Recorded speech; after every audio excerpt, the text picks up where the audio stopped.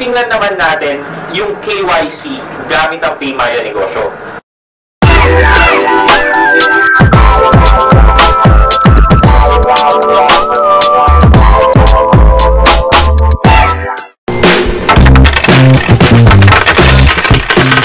Hi guys, this is Pat and you're in Pat Quintos Review TV. So if you're new here on my channel, um, I do reviews about Smart Padala, Paymaya, True Money, Shopee, and Computer Shop.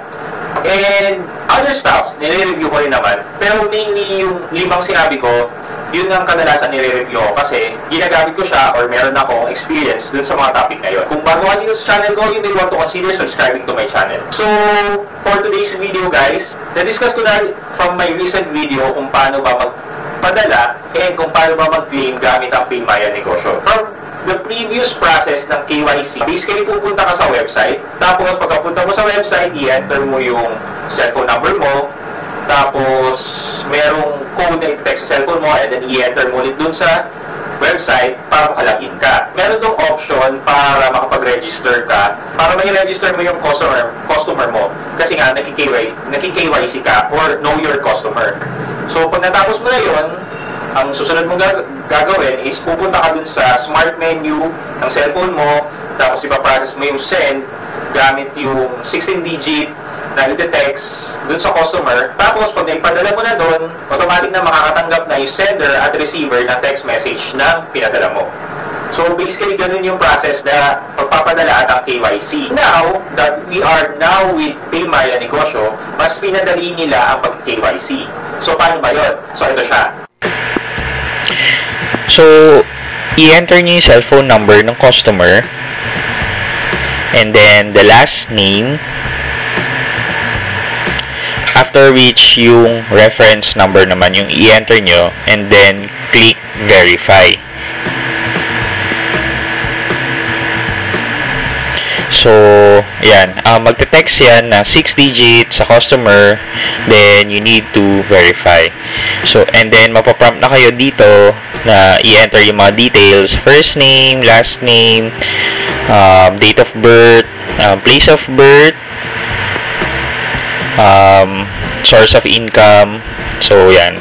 Example, business, the nature of work. So, lagay niya lang kung ano yung trabaho ng customer nyo. So, sa akin, this is just an example, guys. So, others, others lang. Then, house address. So, make sure na yung, how, yung ilalagay yung information dito is matching on the ID rin, syempre. Um, so, yan. Um, barangay, and then, um, the city, then you also need to enter yung state or province. So, in my case, Metro Manila, then the zip code. So, yan. Next is for you to attach kung ano yung ID. So, like SSS. Um, ayan. UMID or SSS. Then, you also need to enter yung um, SSS number or yung ID number, UMID number. So, yan. So, um, this is just an example, guys. So, nag-invent, pa lang ako ng uh, ID number.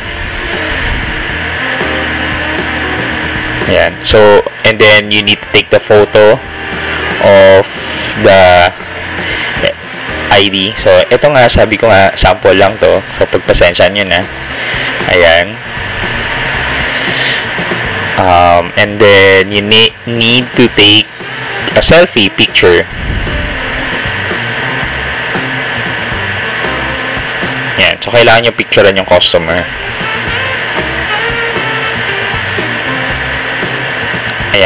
So, kung makikita nyo, um, ayan na yan. Naka-attach na yan dyan and just need to click confirm. Yan.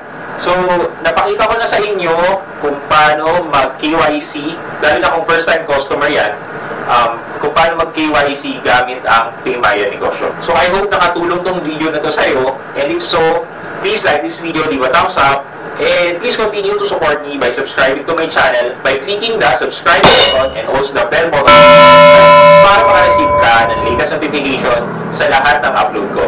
Again guys, this is Pat Quinto and you're in Pat Quinto's Review TV. Bye-bye!